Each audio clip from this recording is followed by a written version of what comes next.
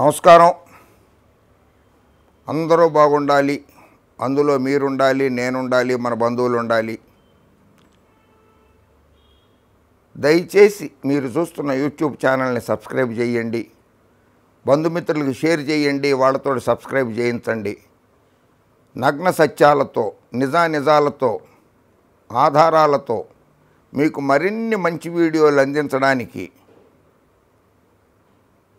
నిర్భయంగా సావుకి రేవుకి భయపడకుండా వీడియోలు అందించడానికి మమ్మల్ని ఆశీర్వదించండి. నలభై నాలుగేళ్ళ రాజకీయ అనుభవం. నలభై ఏడేళ్ళ వయస్సు. నలభై నాలుగేళ్ళ రాజకీయ అనుభవం. డెబ్భై మూడేళ్ళ వయసున్న చంద్రబాబు నాయుడు గారిది నలభై ఏడేళ్ళ వయసున్నది జగన్మోహన్ రెడ్డిది. చీ బాబుది జై జగన్ది. ఇద్దరికీ అరుదైన రికార్డులు ఉన్నాయి అరుదైన రికార్డులు. ఇద్దరికి చంద్రబాబు నాయుడు గారికి అరుదైన రికార్డు ఉంది వైఎస్ జగన్మోహన్ రెడ్డికి అరుదైన రికార్డు ఉంది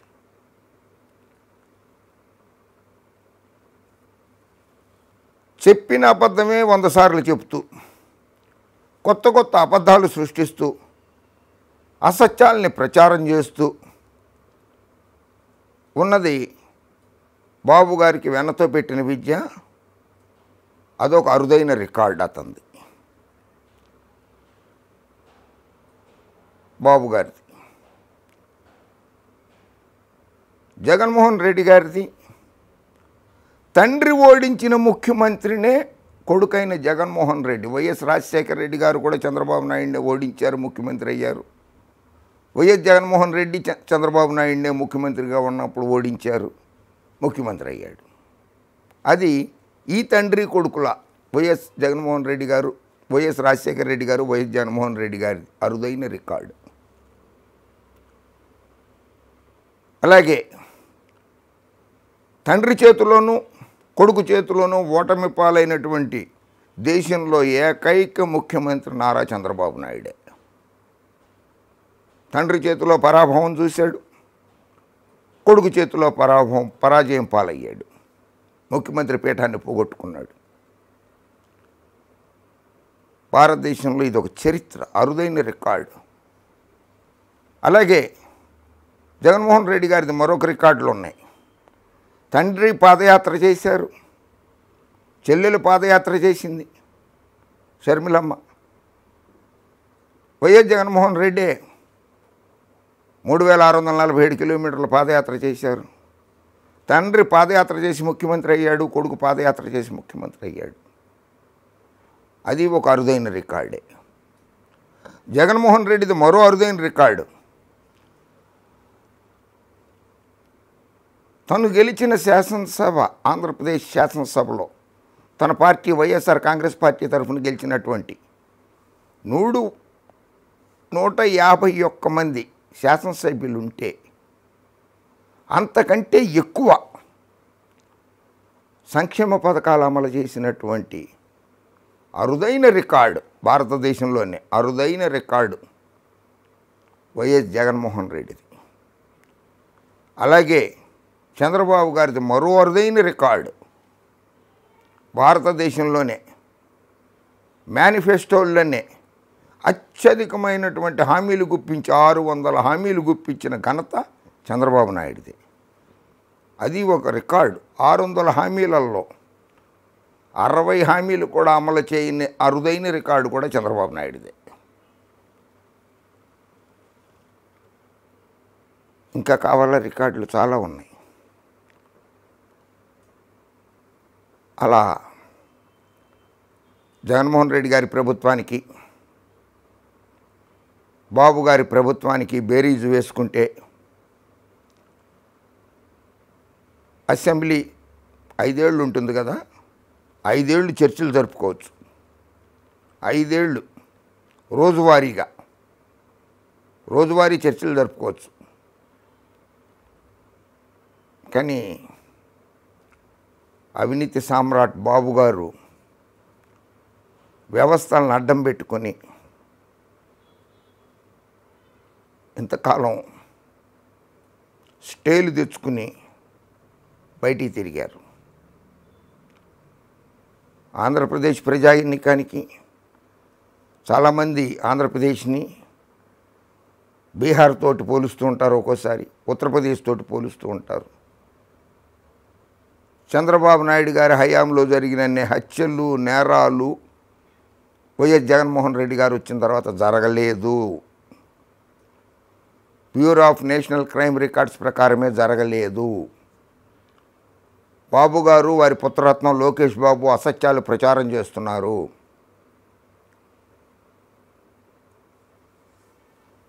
వారికి తోడు లోకేష్ బాబుకి చంద్రబాబుకి తోడు దుష్ట చతుష్టయం పచ్చ మీడియా. పచ్చ మీడియా పర్వాలేదు. పైచ్యమెక్కిన పచ్చ మీడియా. పిచ్చెక్కిన పచ్చ మీడియా. భజన. ఈ దుర్మార్గాలకి అంతే లేదు. వాళ్ళు చేసే అసత్యాలకి దేవుళ్ళు నవ్వుకుంటున్నారు. కలియుగానికి నిజమైన భాష్యం చెప్పింది తండ్రి కొడుకులు బాబుగారు లోకేష్ బాబు గారు అని చెప్పి పైనున్న దేవుళ్ళు అనుకుంటున్నారు.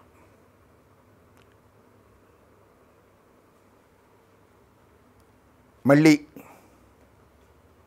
అరాచక పాలన రాక్షస పాలన ఎందుకంటే ప్రజల్లోకి తొందరగా చొచ్చుకుపోతాయి అవి.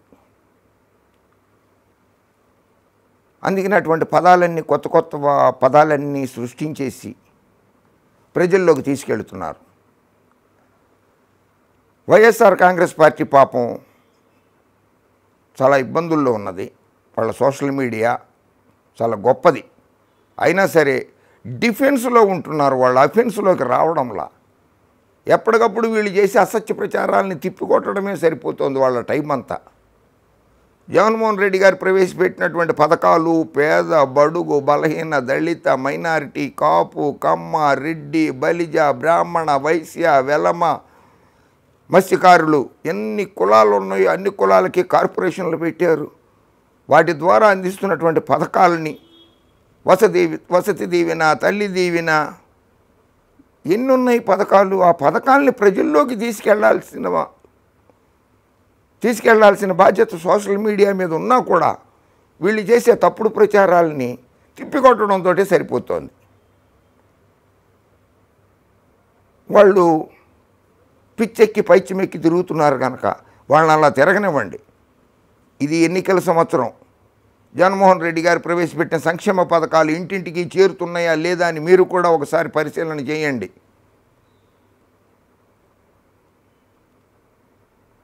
చేసి జగన్మోహన్ రెడ్డి గారు సంక్షేమ పథకాలన్నింటినీ కూడా ప్రజల్లోకి తీసుకెళ్ళండి.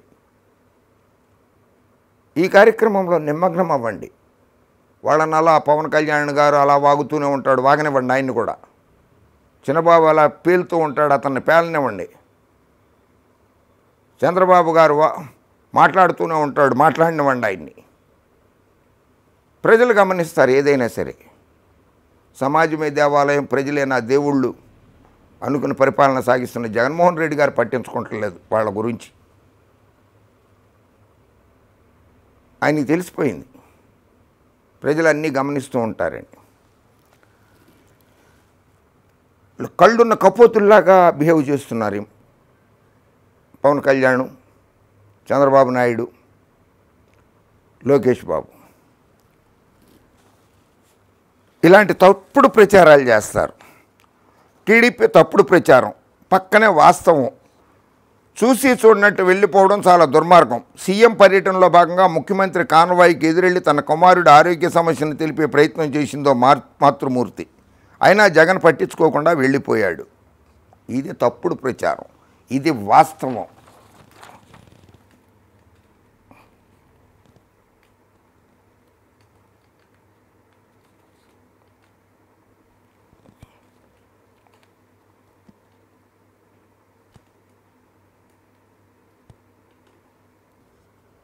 గంజాయి. గంజాయి అమ్మిన వాళ్ళు నేను ఫోటోలతో ఆధారాలతో చూపించాను చాలాసార్లు. తెలుగుదేశం పార్టీ కార్యకర్తలు నారా లోకేష్ బాబు గారి శిష్యులు గంజాయిలో పట్టు గంజాయి కేసుల్లో పట్టుబడినవి కోకొల్లలుగా జరిగాయి. అలాగే లేటెస్ట్గా దళిత విద్యార్థినిపై టీడీపీ కార్యకర్త అత్యాచారం. మచిలీపట్నంలో దళిత యువతికి డ్రగ్స్ ఇచ్చి మద్యం తాగించి లైంగిక దాడి. దారుణానికి పాల్పడిన టీడీపీ యూత్ విభాగానికి చెందిన ఆవుల సతీష్. నిందితుడు సతీష్పై కేసు నమోదు అరెస్ట్. వైసీపీ కార్యకర్తట్టు టీడీపీ నేత కొల్లు రవీంద్ర దుష్ప్రచారం. చూసారా వైసీపీ కార్యకర్తని తెలుగుదేశం కార్యకర్త అతను. వైసీపీ కార్యకర్తని మాజీ ఎమ్మెల్యే కొల్లు రవీంద్ర దుష్ప్రచారం. నేరాలు చేయడం పక్కవారిపై నెట్టేయడం టీడీపీకి మాత్రం వెన్నతో పెట్టిన విద్య. అవును. రౌడీ షీట్ ఓపెన్ చేయించుకోండి. మీకు పార్టీలో ప్రాముఖ్యత ఇస్తాను. మీరు కేసులు పెట్టించుకోండి పోలీసులతోటి. పార్టీలో పదవులు ఇస్తాను అని చెప్పి చిన్నబాబు గారు పాదయాత్రలో ఇది యువగళ్ళం పాదయాత్రలో సెల్ఫీలు దిగేటప్పుడు నూరు నూరు పోస్తున్నాడు కదా అందరికీ. దాంతో ఈ అఘాయిత్యాలు ఎక్కువైపోయినాయి ఆంధ్రప్రదేశ్లో. మీరు రౌడీ షీట్ ఓపెన్ చేయించుకోండి మీకు పదవులు ఇస్తామని చెప్తుంటే రౌడీ షీట్ల కోసం ఓపెన్ చేయడం కోసం పాపం వీళ్ళందరూ కేసులు పెట్టించుకుంటున్నారు. తెలుగు యువత కుర్రాళ్ళు తెలుగుదేశం పార్టీ విద్యార్థి విభాగమో లేకపోతే తెలుగు యువత వాళ్ళు. తెలుగు తమ్ముళ్ళు తండ్రి కొడుకుల మాటలు నమ్మకండి అయ్యా బాబు దండం పెట్టి చెప్తున్నా మీరు జైళ్ళు పాలవుతారు వాళ్ళకు పదవులు వచ్చిన వాళ్ళకి పదవులు వస్తాయి మీరు జైలుకి వెళ్తారు. తెలుగు తమ్ముళ్ళు మీరు చాలా మంచివాళ్ళు నాయన మీరు అటువంటి వాళ్ళ తల్లి తండ్రి కొడుకుల మాటలు నమ్మకండి అయ్యా బాబు. దండం పెట్టి చెప్తున్నా. ఇదిగో ఇది.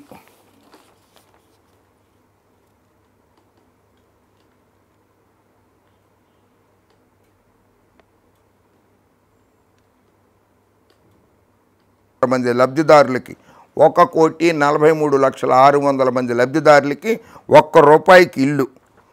పేద అక్కా చెల్లెమ్మలకు లబ్ధి తొమ్మిది వేల నాలుగు వందల ఆరు కోట్ల రూపాయలు.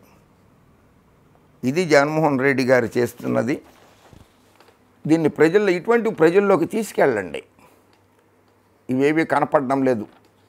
బాబుకి కనపడడం లేదు పవన్ కళ్యాణ్కి కనపడడం లేదు చంద్రబాబు నాయుడు గారికి కనపడడం లేదు చిన్నబాబు లోకేశం బాబుకి కనపడడంలా ఆ ఇళ్ళ మీద నుంచే వెళ్తున్నారు. జగన్మోహన్ రెడ్డి కట్టిన ఇళ్ళ మీద నుంచే పాదయాత్రలు చేస్తున్నారు బస్సు యాత్రలు చేస్తున్నారు వారాహి విజయయాత్రలు చేస్తున్నారు. అయినా కళ్ళు కనపడడంలా నవరత్నాలు పేదలందరికీ ఇళ్ళ నిర్మాణం. జగనన్న ప్రభుత్వం రాప్త రాష్ట్ర వ్యాప్తంగా ఇరవై ఇరవై ఒక్క లక్షల మందికి పేదలందరికీ ఇళ్ళ నిర్మాణం. మౌలిక వసతులపై చేస్తున్న వ్యయం అందించిన ముప్పై పాయింట్ ఆరు లక్షల ఇళ్ళ పట్టాలు. ముప్పై లక్షల అరవై వేల మందికి ఇళ్ళ పట్టాలు పంచిపెట్టింది జగన్మోహన్ రెడ్డి ప్రభుత్వం. దాని విలువ ఒక లక్ష అరవై ఆరు వేల ఏడు వందల కోట్ల రూపాయలు. ఒక లక్ష అరవై ఆరు వేల ఏడు వందల కోట్ల రూపాయలు విలువైన పట్టా భూముల్ని ప్రభుత్వ భూమిని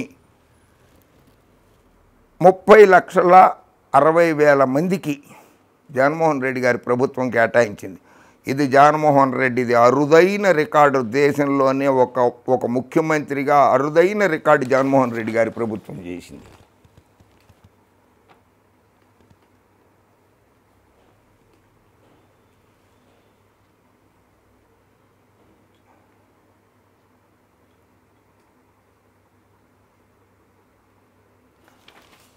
రాజకీయ పండితురాలు మంచి వ్యక్తి west Bengal chief minister Mamata Banerjee కూడా ముప్పై లక్షల అరవై వేల మందికి ఒక లక్ష అరవై ఆరు వేల కోట్ల ఏడు వందలతో రూపాయల విలువైనటువంటి పట్టాభూములు పేద ప్రజల కోసం ఇవ్వలేదు. Yogi Adityanath Uttar Pradesh chief minister. ముప్పై లక్షల అరవై వేల మందికి ఒక కోటి అరవై ఆరు లక్షల డెబ్బై వేల ఏడు వందల కోట్ల రూపాయల ఖర్చుతోటి ముప్పై లక్షల అరవై వేల మందికి పట్టాలు పేద ప్రజలకి ఇళ్ళ స్థలాలు కేటాయించలేదు. మధ్యప్రదేశ్ బీజేపీ ముఖ్యమంత్రి శివరాజ్ సింగ్ చౌహాన్ కేటాయించలేదు. కాంగ్రెస్ రాజస్థాన్ గెహ్లాట్ ప్రభుత్వం కేటాయించలేదు. హర్యానా భారతీయ జనతా పార్టీ ప్రభుత్వం కేటాయించలేదు. ఢిల్లీ ఆపు ప్రభుత్వం కేటాయించలేదు అరవింద్ కేజ్రీవాల్ గారి ప్రభుత్వం. పంజాబ్ మాన్ ప్రభుత్వం కేటాయించలేదు. కేరళ సిపిఐ సిపిఎం అధికారంలో ఉన్నటువంటి వామపక్షాల అధికారంలో ఉన్నటువంటి కేరళలో ముప్పై లక్షల అరవై వేల మందికి ఒక కోటి అరవై ఆరు లక్షల ఏడు వందల కోట్ల రూపాయలు ఖర్చు పెట్టి పేదలకి ఇళ్ళ స్థలాలు ఇవ్వలేదు. నిన్న మొన్నటి దాకా భారతీయ జనతా పార్టీ కర్ణాటక రాష్ట్రంలో ఉంది. బసవరాజు బొమ్మాయి గారి ప్రభుత్వం. ముప్పై లక్షల అరవై వేల మందికి ఒక కోటి అరవై ఆరు లక్షల ఏడు వందల కోట్ల రూపాయల విలువైనటువంటి స్థలాల్ని పేద బడుగు బలహీన దళిత మైనారిటీ వర్గాల వారికి కేటాయించలేదు. ఇంకే రాష్ట్రం పేరు చెప్పమంటారు చెప్పండి. దమ్ము ధైర్యం ఉందా చర్చికి? ఢిల్లీలో చర్చి పెట్టుకుందామా? మీ పచ్చ మీడియాల్లో వద్దు. ఢిల్లీలో చర్చి పెట్టుకుందామా? ఐక్యరాజ్య సమితిలో చర్చి పెట్టుకుందామా? యునెస్కోలో చర్చి పెట్టుకుందామా? నాలుగేళ్ళలో ముప్పై లక్షల అరవై వేల మందికి ఒక కోటి అరవై ఆరు లక్షల ఏడు వందల కోట్ల రూపాయల స్థలాలు కేటాయించింది జగన్మోహన్ రెడ్డి ప్రభుత్వం ఒక్కటే. ఇది ఒక అరుదైన రికార్డు. టిడ్కో ఇళ్ళ లబ్ధిదారులకి పదహారు వేల ఆరు వందల కోట్ల రూపాయల లబ్ధి. టిట్కో ఇళ్ళ లబ్ధిదారులు రెండు లక్షల అరవై రెండు వేల మంది. సబ్సిడీ పదకొండు వేల ఆరు వందల డెబ్బై రెండు కోట్ల రూపాయలు. వాటా చెల్లింపులో రాయితీ నాలుగు వందల ఎనభై రెండు కోట్ల రూపాయలు. ఉచిత రిజిస్ట్రేషన్ల రూపంలో పన్నెండు వందల కోట్ల రూపాయలు. మౌలిక వసతుల వ్యయం మూడు వేల రెండు వందల నలభై ఏడు కోట్ల రూపాయలు. ఇది కూడా దేశంలో అరుదైన రికార్డు. జగన్మోహన్ రెడ్డి.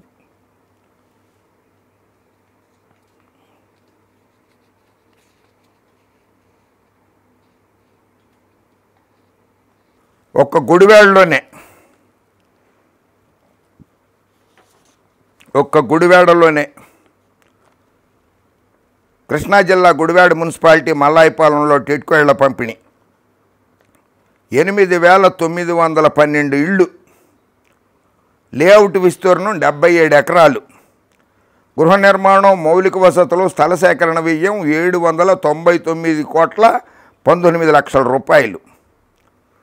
ముఖ్యమంత్రి జగన్మోహన్ రెడ్డి గారు టిట్కో ఇళ్ళు కేటాయించారు.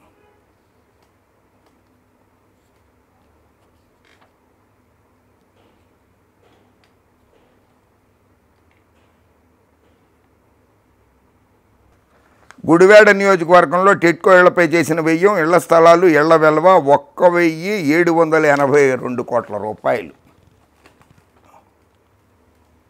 ఒక్క శాసనసభ నియోజకవర్గంలోనే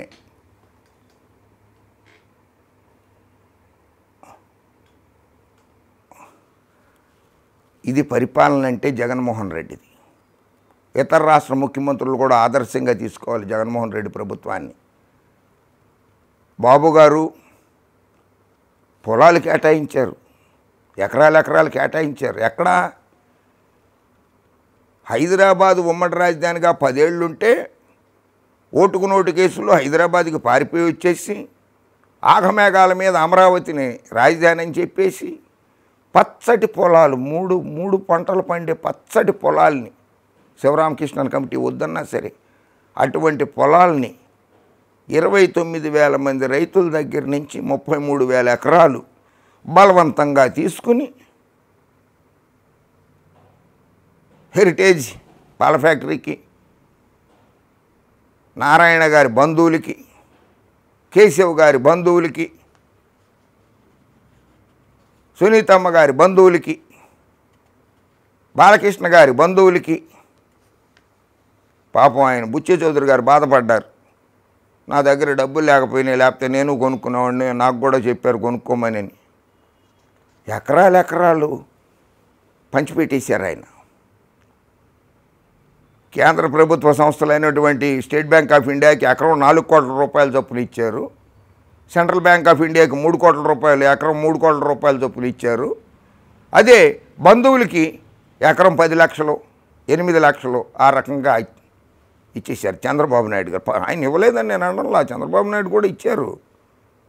రైతుల దగ్గర నుంచి గుంజుకుని మరీ తన బంధువులకి తన పార్టీ కార్యకర్తలకి ఇచ్చుకున్నారు.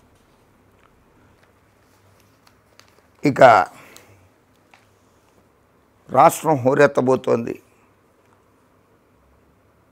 జగన్మోహన్ రెడ్డి గారు సచివాలయం. ఇల్లు సచివాలయం ఇల్లు సచివాలయం.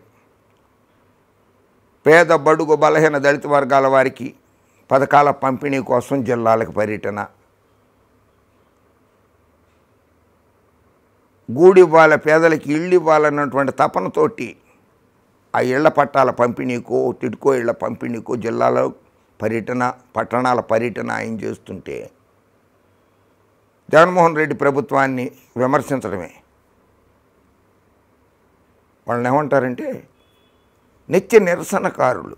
నిత్య నిరసనకారులు అంటారు వీళ్ళని. పవన్ కళ్యాణ్ గారిని. అసలు ఆయన మాటలు పట్టించుకోవాల్సిన అవసరమే లేదు. ఆయన పొద్దున మాట మాట్లాడతాడు మధ్యాహ్నం ఓ మాట మాట్లాడతాడు రాత్రికో మాట మాట్లాడతాడు ఆయన. ఆయన పెద్దగా పట్టించుకోవాల్సిన అవసరమే లేదు. చిన్నబాబు మాటలు కూడా పట్టించుకోవాల్సిన అవసరం లేదు. బాబు గారే రాజకీయ అనుభవం ఉండి కూడా అనాలోచితమైనటువంటి వ్యాఖ్యలు చేస్తూ ఆరోపణలు చేస్తూ అసంబద్ధ ఆరోపణలు చేస్తూ కాలికి బలపం కట్టుకుని తిరిగేస్తున్నారు రాష్ట్రంలో. నూట ముప్పై రెండో రోజు నూట ముప్పై మూడో రోజు ఆయన పాదయాత్ర చేస్తున్నాడు. ఆయనకి టిట్కోళ్ళు కనపడలా. పేదలకి ఇచ్చిన స్థలాలు కనపడలా ఆయనకి. ఏవి కనపట్లా లోకేశం బాబు గారికి.